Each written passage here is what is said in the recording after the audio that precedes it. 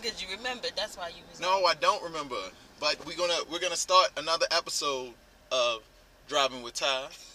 So, thank you for watching. Um, I want to give a special thanks to uh, Candace and also Gene for responding to the last video we did where we were talking about um, not being a morning person. Um, I happen to be a morning person. Ty, on the other hand. And uh, both Candace and Gene uh, gave some very, very great uh, comments. So check out the video. Also, check out their uh, some of their connection info that will be in the description. But today, I wanted to talk about Vex. Robotics. Yes, robotics. So we went to an event uh, yesterday. It was a state qualifier for the uh, robotics league in Maryland, and we uh, it was host, it was hosted at the new uh, robotics uh, center of Baltimore, and uh, Ty and I both volunteered there. great event. What were some of your thoughts about the event? I think that um, it was uh, great how they had this for the setups for them to practice. Um, that was a plus because you don't always get an area where you can kind of, you know, do your simulation before you get on the, the actual testing field. So I thought that that was really, really good for a lot of the teams um, to, to do that. And um, overall, a, a, good event, uh, not too long, pretty good hours that they were there.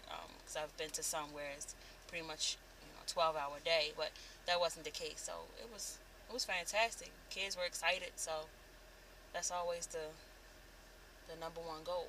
Gotcha. So do you think it was a little bit different? Because like you said, we've been to uh, other events like First Lego League or FLL, as people uh, call it. Um, but this time we did Vex. Um, do you think it was a little different because we were behind the scenes? Yeah, yeah, absolutely. Yeah. So, yeah. so, so, so, the one thing I didn't say earlier is that I was the head judge. This was the first time I actually judged this event, which was very interesting. I learned a lot, and it was fantastic. We had, uh, you know, great uh, volunteers. We had great uh, other judges that uh, volunteered as well. We had great refs, uh, great teams. The, the kids were well behaved, and it was fantastic. So I remember going to other events where it was very, very long, and, and now that I have insight into, you know, the kind of back end that was happening or what was happening behind the scenes, it does give me a little bit more appreciation or a little bit of understanding of why we were waiting so long. Because there's a lot of things happening that you don't see. And I think that's kind of something that uh, is a good takeaway as a parent. You know, we actually were on both sides, but getting involved, you didn't really have a lot of experience with it. I didn't have that much experience with it, but we still learned a lot and we still had a good time. And I think that's kind of like a key takeaway for a lot of parents to be able to say, hey, you know, get involved. You know, you may not know how to build a robot, but you don't need to know that. Yes, yes, you don't know how to do that. Yes, and that's really that's the thing. You're you're prepping the kids for the future. The time where you're going to be retired and they're entering the workforce, that's what you're you're preparing these kids for and I think that's that's fantastic. And we talk about ways that we can close that, that gap and you know STEM. And for for those of you that don't know what STEM is, science, technology, engineering, and mathematics. Um, I, I, think they also consider STEAM now, where you, you throw art in there as well. Nice. Whether you call it STEM or STEAM, I know.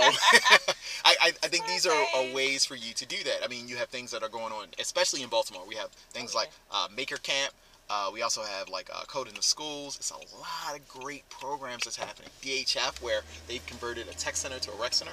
Yes. Um, and now we have the robotics center. So, you know, hopefully these things are in your city. And if not, talk to me.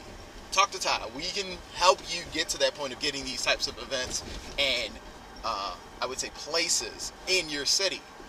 But I, I think that's the one way we close the STEM gap and make us competitive throughout the world is by having events like these Vex competition, competitions. I think it's fantastic. So, so would you do an event like that again? Yeah, sure. Okay, I'm gonna hold you to that. Yeah. Thanks for watching.